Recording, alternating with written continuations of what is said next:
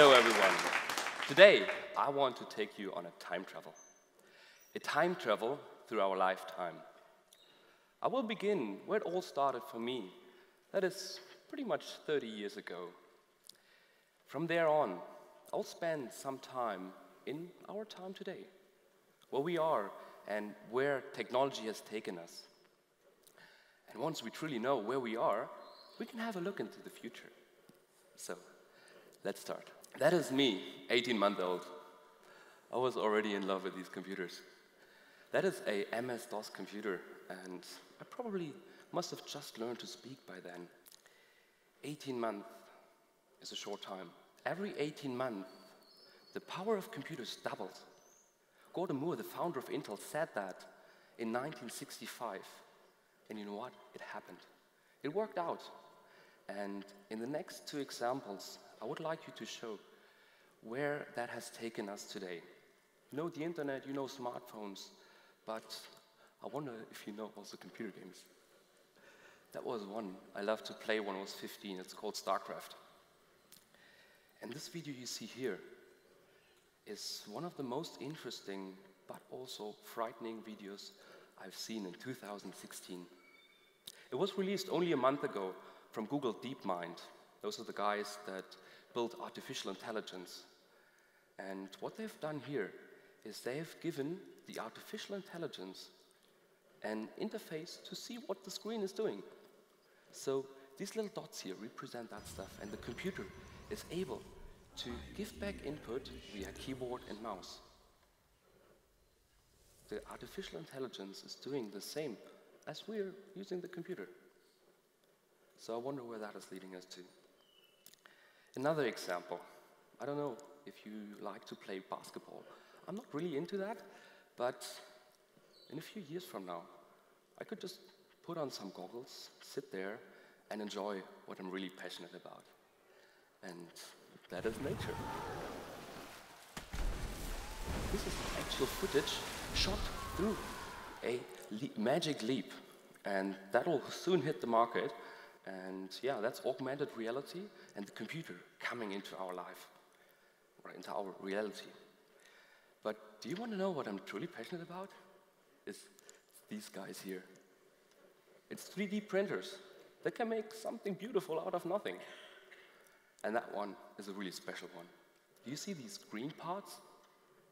This printer has printed out these green parts itself and turned itself into a organ printer. That thing is able to place cells right exactly where you want them to have. And different cells can make up an organ. They're not yet there, but they've only started eight months ago, and there was about 20 students from LMU and TU Munich that built this machine. And then they took that machine to Boston to a very big synthetic biology competition. It's called iGEM. Three and a half thousand people from all over the world come together. And when they present, presented this thing, they won the grand prize. There's more to it than only the 3D printer. Um, there's DNA that they engineered. Because, well, if you put cells together, you need to glue them together. So they have created a little bit of DNA information that on the outer side of the walls grabs the next cell to each other, and then they stick together. And yeah, that is genetic engineering and how you can put cells together. Synthetic biology. Synthetic biology is the engineering of cells. And you look at nature from an engineer's perspective. I hope you all know that every cell is made up of DNA. DNA, you have three billion letters in each of your cells. And that make up the blueprint of who you are and how it works and how your body is constructed. What we've done is we've created a wiki, a website where everybody can add knowledge. And you can get the interactive slides of this presentation if you simply send an empty email to tedxtum at synbio.info and you can read on about the stories I'll tell you. So, if you want to truly understand nature, you start with reading DNA.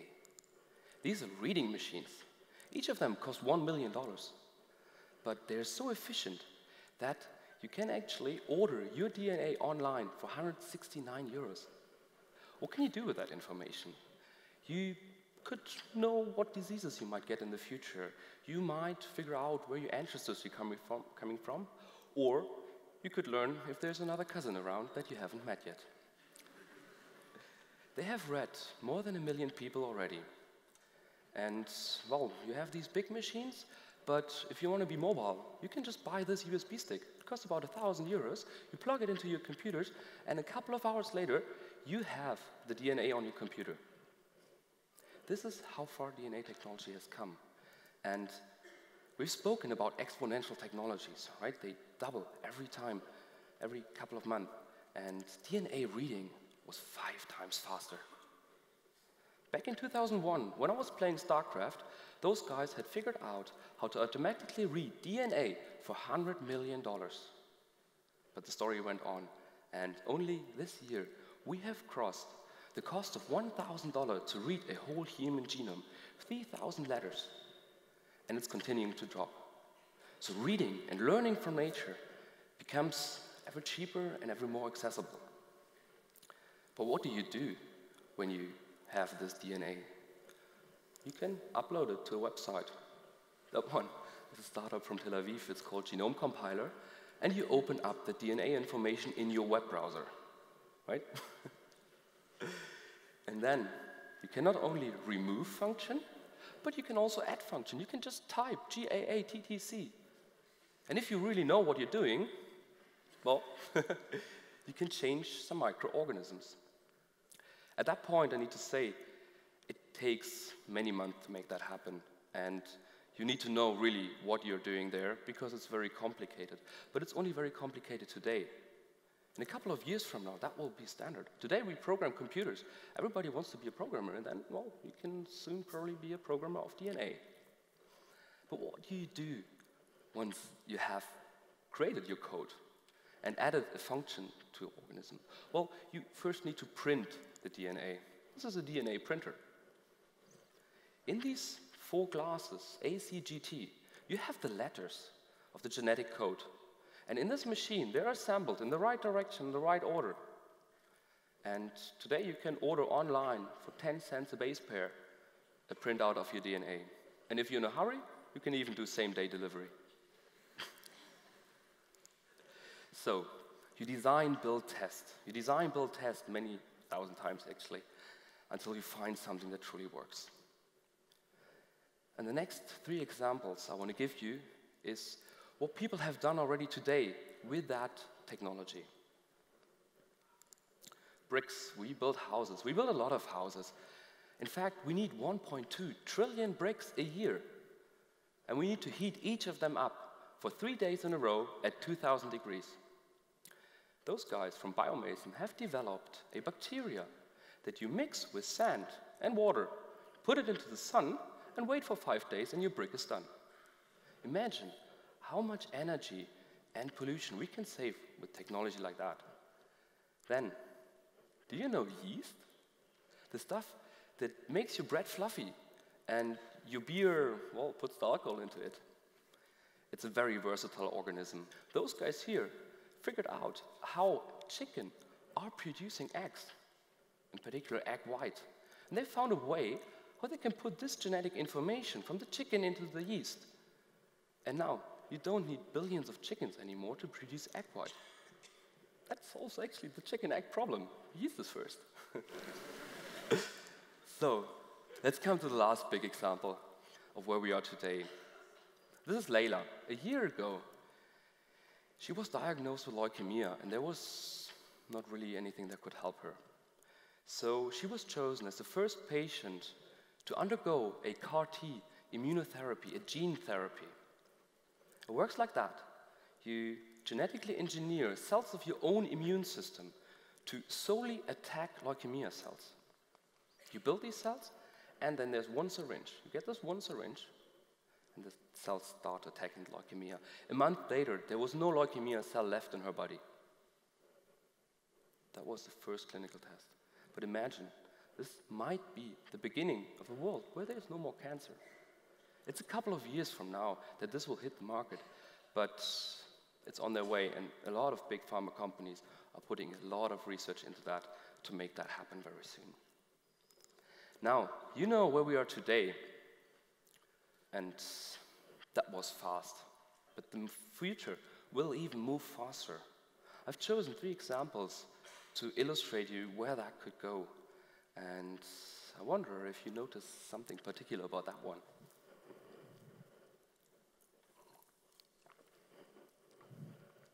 There's four women on this picture. There's four women, two of them having kids together. A researcher found out that he can take DNA information from one female egg and put it into the other one, and then women can have kids together, their own kids. And he was approaching an artist and wondering how, how would society pick up a technology like that? Should we really do that? And the artist chose a beautiful example. She three, made 3D models of what the kids could look like and created these pictures and showed them to the parents and captured their emotional reaction to that in a beautiful video. And this is how artists can actually understand this technology and, and transport it into society and then ask the questions should we do that or should we not? Where is that leading to? This, I think, could be happening by 2020. And then this topic, an ancient dream. It's been around for thousands of years. Longevity is, well, you live for a very, very long time. You get rid of diseases. But it goes further.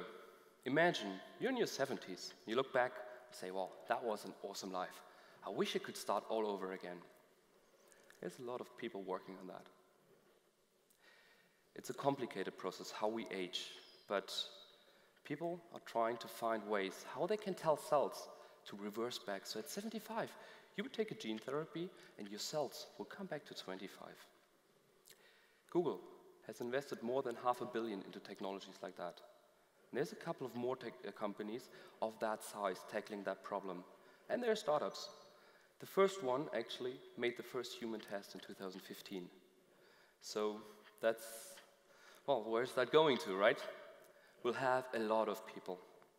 In fact, if we look at the development of our humanity, when I was born, we were about 5 billion people, and we will witness 10 billion people, double as many people on Earth. Where should they all go to? And there's a billion problems we need to solve on the way until there. But there's one crazy guy, but we could just go to Mars, right? I'm sure you've heard all of Elon Musk's mission to go to Mars. He'll probably do that by 2033 or latest by 2048. And his life vision is to put one million people on Mars. But it's a desert up there. And I've met synthetic biologists that are already today trying to grab bacteria that is living at the bottom of the ocean and re-engineer them to work on Mars. And, well, bacteria has done that before. They've created an atmosphere on Earth. Maybe we can also do that on Mars. That is our future a future I can well imagine to happen. And that's only 30 to 60 years ahead from us.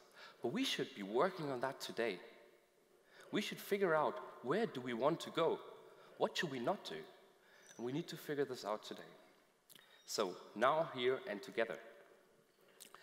When I speak about us, it's right now the four of us. There's actually many more people around, but with the four of us, we're building a truly unique place. There's Philip, the guy to the left. Probably, yeah, 18 months ago, he was approached by three students. They were like, oh, have you heard of that idea, Hyperloop? And he was like, yeah, just build it. He opened up his network and, and spoke to thousands of people and brought them all together. And you see this thing there? 18 months later, we have a Hyperloop. And 40 students have built that thing. And it's soon going to be shipped to the US to be tested. Then there's Alex. Alex is about reaching singularity. Singularity is the moment when computers become more intelligent than human beings. And the question is, when will that happen? How will that happen? And what will happen then? Then there's Raphael. In Raphael's world, in some years from now, we can upload our brain. But what do you do there in the cloud? You need a robot to be back on Earth.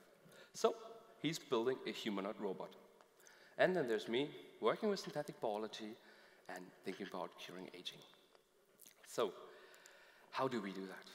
We take technologies, the latest technologies, we merge them, we recombine them, and create something new.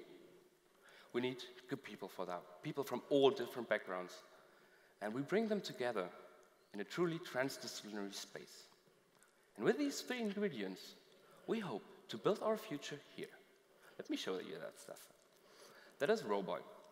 It's a 3D printed humanoid robot. It took about nine months to construct this thing, and now there's 40 students as well that work on that one. Next year, he's going to learn to walk, and maybe in a few years from now, he'll turn from Roboy into Roman. that one here, this is a whole laboratory on a chip. A whole biotechnology laboratory on a chip that's fully automated and can run hundreds of different um, experience experiments at the same time. These are just two of many other technologies we have in our labs. But how does it look like there? That, that's how we work there. It's a lot of chaos. But in that chaos, truly, ingenious ideas happen. The space is the Unternehmertum, the entrepreneurship center out there uh, in Garching. And, well, in there, we've created labs. This is our two-month-old biohack space. We don't do biology yet there, but we're building lab machines. Next year, we hope to have a fully functional and safety-approved lab. Right in the same room, we construct Roboy. So we are very close to each other. We can ask questions just through the room and make new things happen. And of course, there's our virtual reality and artificial intelligence lab, where you can play with all these new technologies, build new applications, and yeah, live in whatever reality you want to be. So, I would love to invite you to join our community, both online on our websites, on our Slack communities, on our wiki, and offline in our meetups and in our lab spaces. We'd love you to learn and share whatever experiences and knowledge you have so that we can all together solve real problems. All I want you to do now is send a simple email to TEDx at SynBioInfo. You'll get all the information, the dates, where we're going to meet, and many more things. Thank you.